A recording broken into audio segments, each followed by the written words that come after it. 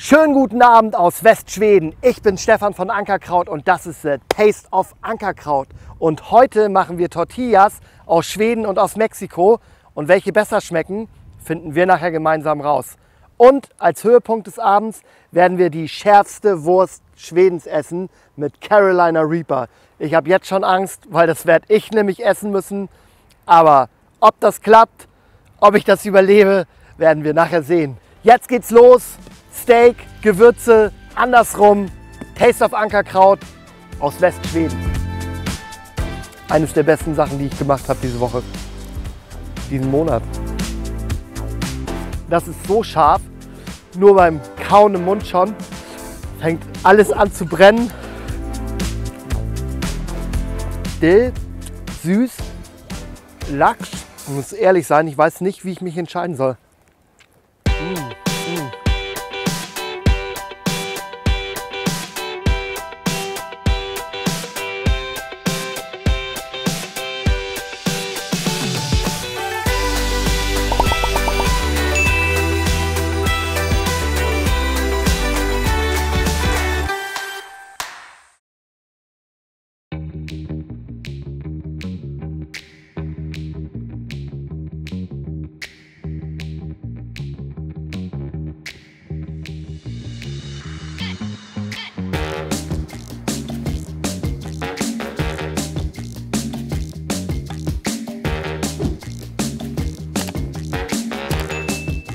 Ich war heute nicht nur den ganzen Tag in der Nordsee und der Sauna, was man hier so in Schweden macht, sondern ich war heute Morgen auch bei Scharkusken, einer der besten Metzgereien, die es in Schweden gibt. Und da habe ich mir dieses tolle Ribeye Steak besorgt vom schwedischen Rind. Der eine Gründer hat eine Rinderfarm, der andere Gründer hat eine Schweinefarm. Super leckeres Fleisch, sah alles ganz toll aus. Nebenbei auch noch ein paar andere Sachen. Lamm, Lammfrikadelle, die schärfste Wurst von Schweden. Dann waren wir mit Chef Thomas auf seiner Farm und haben ein paar Karotten, Grünkohl, rote Beete und Zwiebeln besorgt. Die verarbeiten wir heute auch auf dem Grill. Was für Tortillas gibt es heute? Die schwedischen. Schwedische Tortillas sind natürlich mit Lachs, mit Sauerrahm, mit Blaubeeren, mit schwarzer Johannisbeere-Konfitüre, ein bisschen Rapsöl kommt dazu, das Ganze wird garniert mit Grünkohl. Die mexikanischen Tortillas sind klassisch mit Avocado, Limette, Koriander, Tomate, Rindfleisch, ein bisschen Sour Cream, ein bisschen Käse oben drüber. Ich bin sehr gespannt, welche besser schmecken werden. Und das kriegen wir jetzt raus.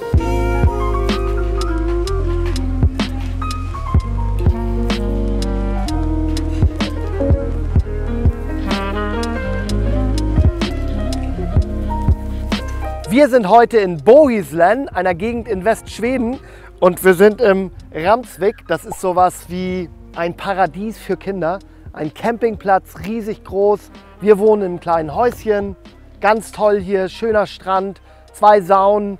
Das Meer ist relativ warm mit 18 Grad. Es ist furchtbar schön.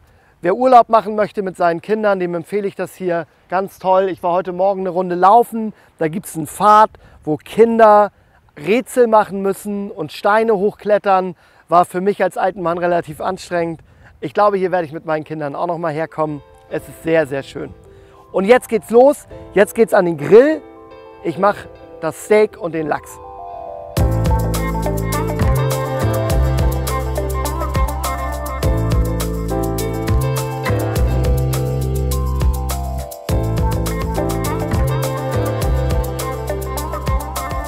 Wir haben ein dickes und ein dünnes. Ach, ist eigentlich nicht so wichtig. Zack. Das Steak braucht so 10 Minuten ungefähr, weil ich das ein bisschen angrille links und rechts und dann lege ich das an, an die Seite und dann mache ich auch den Deckel zu. Es riecht übrigens sehr gut. Das ist gutes Fleisch, das freut mich.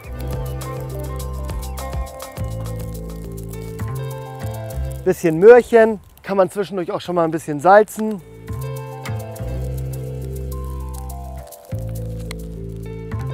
Wie schneidet man Avocado auf? Ganz einfach, man macht genau einen Mittelschnitt, dann dreht man das einmal, dann teilt man das auf. Das Fleisch lege ich jetzt vom Grill runter an die Seite und dann kann das schön durchziehen. Den Fisch wickel ich in Alufolie ein. Ich nehme mal zwei Stücken. Und das Ganze würze ich mit unserem Nordic Fischgewürz. Leider haben wir ja noch keine Gewürze für Schweden. Die kommen aber raus, wenn es die Videos gibt hier. Ich denke mal, ein Fischgewürz wird das auch werden. Weil das hier, das weiß ich jetzt schon, das schmeckt relativ lecker. So.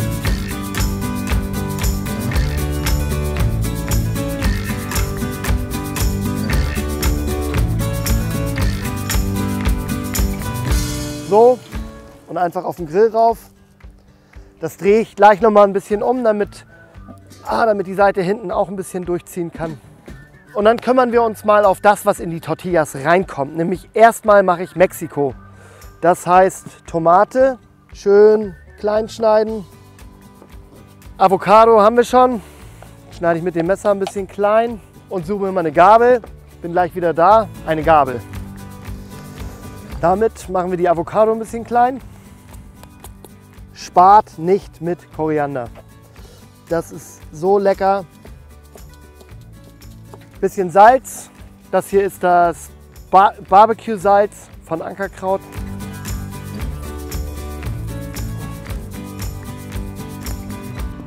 bisschen Pfeffer, Steakpfeffer Nummer 1. Und tada, Chili. Muss einmal eben gucken, ob das scharf ist.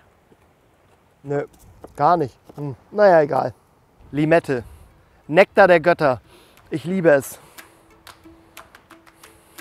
Lauchzwiebeln. Frisch aus der Erde. Da machen wir mal ein bisschen was drauf. Das muss schmecken. Schön hauchdünn schneiden.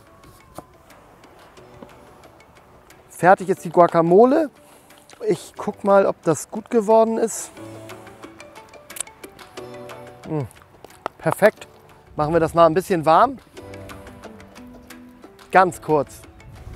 So, ich glaube, wir können mal ein Stückchen von dem Steak nehmen. Wow! Westschweden, es windet. Sehr. Während das Steak ruht, tun wir mal Schwedens schärfste Wurst auf den Grill, damit wir die auch gleich mal probieren können. Ob ich mit den Fingern wohl noch irgendwas anfassen kann? Also außen ist sie auf jeden Fall noch nicht so scharf. Oh, doch. das, brennt schon ziemlich auf der Zunge. Oh, da muss ich ehrlich sein, da habe ich ein bisschen Angst vor, glaube ich. Wollt ihr mal ein bisschen näher rankommen und sehen, wie ich das anschneide? Kommt mal her. Guckt mal hier. Ich nehme mal ein bisschen was von dem Fett ab. Gucken wir uns das mal an. Mmh, guckt euch das mal an. Ich würde sagen, Garpunkt Perfekt getroffen, Herr Professor. Und den einen, den hat der kleine Stefan im Laden immer sofort gegessen. Boah. Mmh. Geiles Fleisch. Wahnsinn.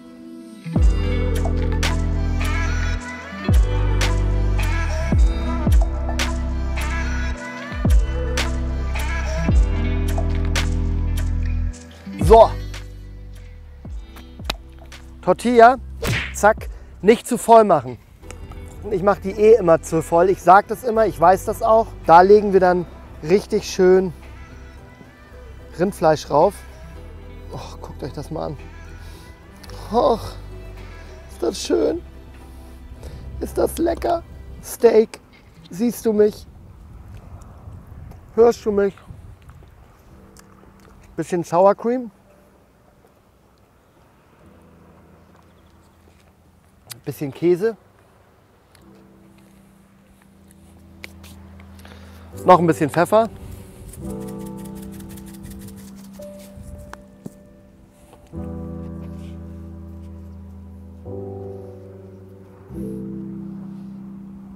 Zack. Das Ganze legen wir noch mal kurz auf den Grill.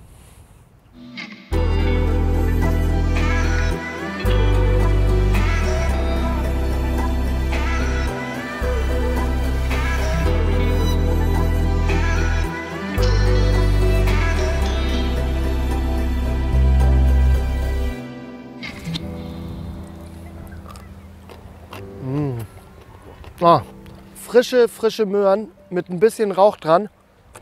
Halb durch. So lecker. Nicht nur Fleisch ist lecker, nicht nur Gewürze sind lecker. Nein, Gemüse ist auch lecker. Ich offenbare mich heute. Meistens ist Gemüse lecker. Manchmal ist Gemüse lecker. Was kommt auf das schwedische Tortilla? Das Wichtigste in Schweden. Gräpfel, Sauerrahm. Machen die hier auf fast alles rauf. Super lecker. Bisschen Nordic Fish. Da sind ganz viele gute schwedische Kräuter drin. Blaubeeren. Die wachsen hier übrigens in jedem Wald. Da singt eine Möwe. Oh. Hallo. Also singt, nicht singt mit K, sondern mit G. Da sieht das schon mal ganz gut aus. Ich hatte versprochen, dass da auch ein bisschen grünes Zeug raufkommt. Wir machen einfach mal etwas Grünkohl rauf. Ich schneide mal den Strunk in der Mitte raus und dann so kleine, schöne Scheibchen. Bisschen Limettensaft, Salz und schwarze Johannisbeere-Gelee. Nicht zu viel, das ist natürlich krass, weil das sehr süß ist. Ja, Leute, ihr braucht auch gar nicht lachen. Das ist gar nicht so einfach, wenn man hier so zwei Gerichte vor sich, vor sich hin jongliert und dabei dann auch noch die ganze Zeit irgendwas erzählen muss. Fisch ist durch. Nehme den einfach direkt hier raus. Mach den einfach direkt drauf. So, was haltet ihr von meinem schwedischen Tortilla oder wie die Schweden sagen, Tordilo? Das war nix. Egal. Ein bisschen Käse machen wir auch noch drauf.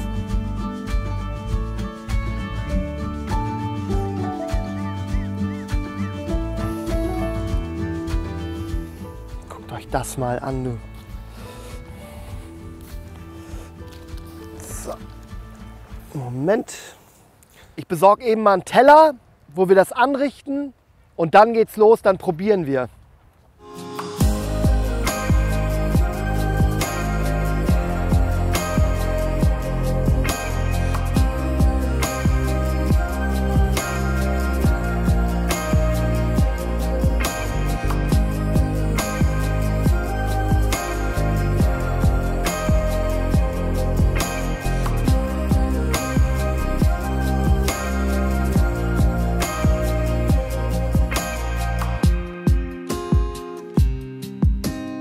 Die Entscheidung. Ich bin am Jurytisch angekommen und es gibt Mexiko, Schweden und Hölle. Ich fange mit Mexiko an.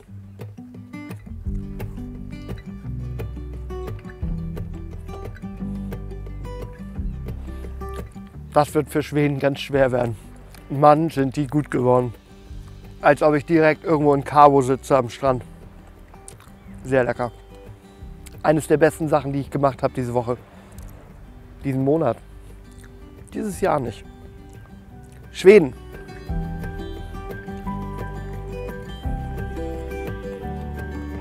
Krass. Dill, süß, Lachs. Oh. Ich muss ehrlich sein, ich weiß nicht, wie ich mich entscheiden soll. Mm, mm. Boah, jetzt war, kam gerade die Säure durch von den Blau, Blaubeeren. Mm. Ich kann mich nicht entscheiden.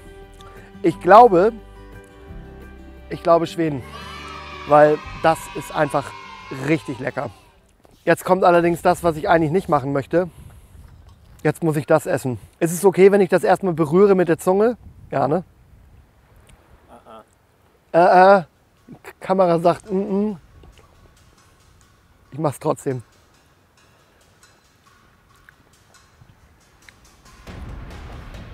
Mann, das ist richtig scharf, ey. das ist richtig scharf. Scheiße.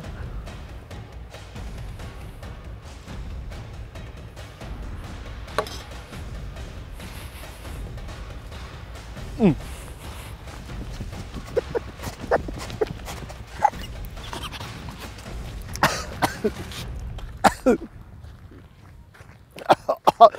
Leute, es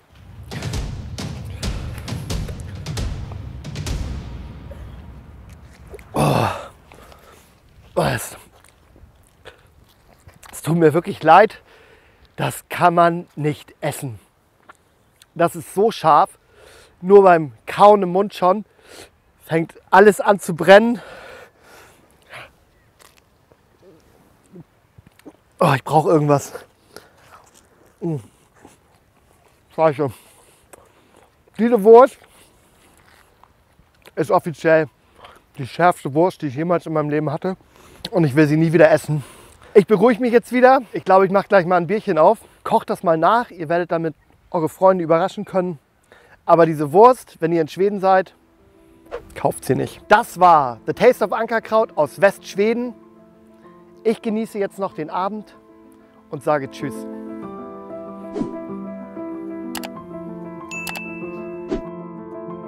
Bleibt würzig.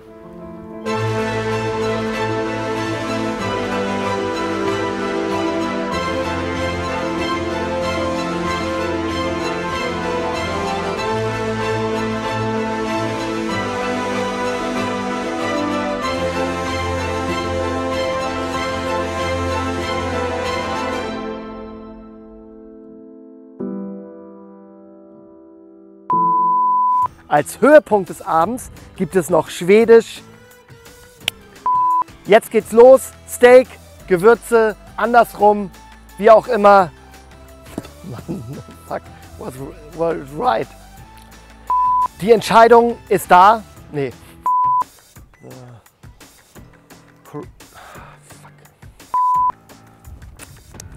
Boah, die Wurst ist scharf. Oh, die ist draußen schon scharf. Ach du Miste. Ist ja so, als ob man an so einer kleinen roten Bird's Eye lutscht. Oh, ich muss gleich mal gucken, ob ich ein Bier irgendwo in der Nähe habe oder was zu trinken, weil wenn ich die Wurst esse und die ist richtig scharf, dann muss ich irgendwas trinken. Vielleicht trinke ich auch einfach das Öl aus.